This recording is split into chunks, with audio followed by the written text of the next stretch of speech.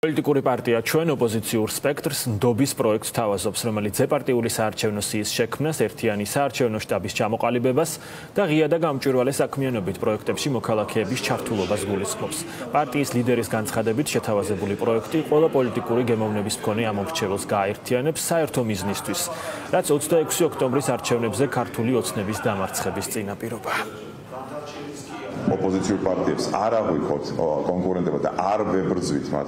ბუნებრივია ჩვენ ვართ თანამებრძოლები, ვინც ვიბრძვით საერთო მიზნისთვის. ამიტომ ჩვენს თანამებრძოლებს აი ამ ეგზისტენციალურ ბრძოლაში ვთავაზობთ ჩვენს ხედვას გაერთიანებასთან დაკავშირებით. ჩვენ ზუსტად ვიცით და ამას ადასტურებს ყველა კვლევა, ყველა საერთაშორისო ორგანიზაცია, რომ ქართული ოცნება ამზადებს წარმოუდგენელი მასშტაბის გაყალბებას. ბოლო სოციალური კვლევებიდან ჩანს, რომ ამორჩევის 60%-ზე მეტ სურს ერთიანი ოპოზიციური სიარათა გაუადვილდეთ არჩევანის გაკეთება. ოპოზიციური სპექტრის დობის ამაღლებით მიზნით ამორჩეველი ასევე ითხოვს ახალი სახეების გაჩენას პოლიტიკაში.